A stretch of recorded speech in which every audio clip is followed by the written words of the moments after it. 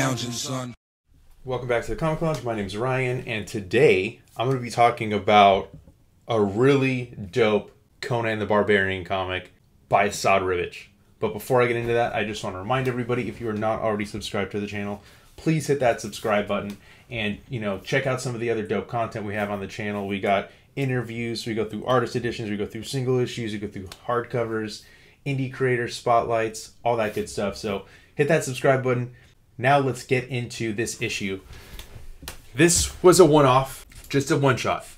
It's basically a wordless comic for the most part, and the only words that are in here I can't read because it's in another language. So um, it's a beautifully, beautifully illustrated comic book. I love Esad Ribic. I probably I would say his work on Thor uh, was what I think I discovered him on first.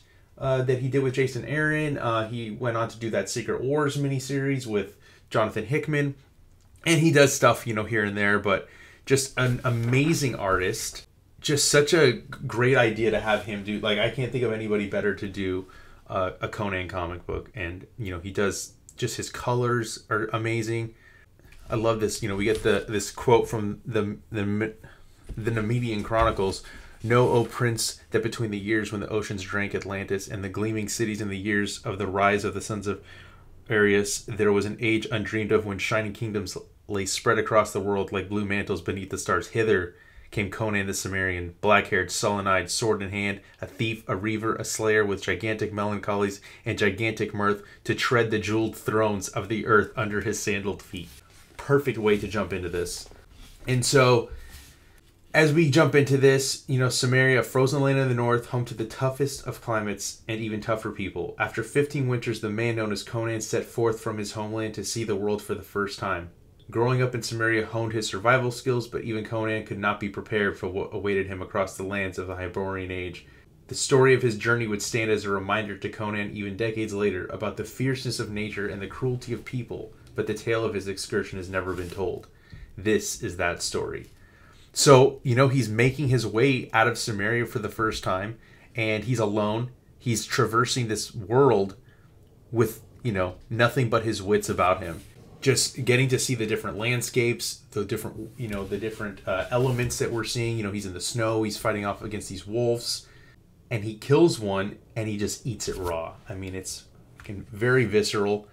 The rest of the pack runs off and so Conan continues to make his way, but then you know another one comes and attacks him, kills that one, and he continues on. And we just see you know the wolf tracking him, which is really cool. And now he's you know again whatever he can to survive, and these wolves just keep tracking him to basically what I mean I'm taking as to get revenge. And I love how they lock eyes right here. Conan just locks eyes with this wolf. It's just beautiful just the the amount of you know work that you know Esad Ribic puts into this, his storytelling, with you know to tell a story visually with no words to kind of guide you in your in your experience and to just you know take the reader on a journey visually. And you're left to kind of fill in you know the blanks and like what the character's thinking especially when it's just a singular character and there's nobody he's interacting with except animals. But you can kind of get this like feel for his how he feels about what's going on around him. And you can see how young he is. He's not quite as like yoked out as he becomes later on. Then we get this cougar attacking him, mountain lion, and even he will mess with Coda because he locks eyes with him, and he you know decides he's gonna slink off. Just kills the rat. Again, eating it raw, continuing to again. We're seeing so many different elements of of land here I love this. He's like the look in his eyes as he sees water and just fucking ducks his whole body in there to drink. And the bear comes comes to attack him, and he takes the bear out. The savagery of of which with which Conan uh, has in this with you know towards the animals, no fear, just keep, keeps going, taking on. Then makes his necklace out of the bear, out of the bear claws. And then as he comes, he starts to see a village on fire, and then he what does he do? He takes up the armor, takes the horse. Now he's going to have a little bit of help and doesn't have to keep walking this land. I love how he sneaks in here just to you can get some milk to drink, and then we see this warrior come upon him. Conan fights him, but th- these don't seem quite as easy to take care of as the animal's already slinks back to the horse, bloodied, and the horse basically takes him away to safety. And he just, you can just see the weight of like just not having any energy, just being completely drained. And what do they do? These soldiers take him upon and they tie him up to this to these pillars with his arms outstretched and then you see this look in his eye and you know shit's about to go down. He's not going to fucking take this lightly. The light goes out and then you see his head slump. And then we then we we awaken the next day and the soldier that tied him up has now been stabbed and we see the, you know, one of these, you know, I don't know, clerk type characters coming and sees Conan has escaped. And we end with a bloodied Conan with his sword on his side staring at us, the reader. And then from there, you can just, you know, you know exactly what happens with Conan's story as he goes forward and all the different amazing Conan stories that have taken place, you know, post this event in his life.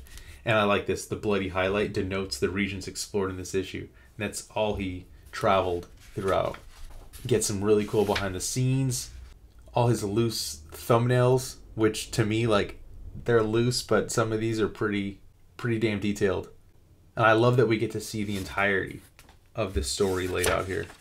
And it's a preview for the Conan book, like I said, that, uh, you know, Jason Aaron was right. He did a 12 issue run that was coming out during the same time as this. And Know that was a quick one. Um, I just, I had to, I had to get this on. I, I wanted, you haven't discovered this yet.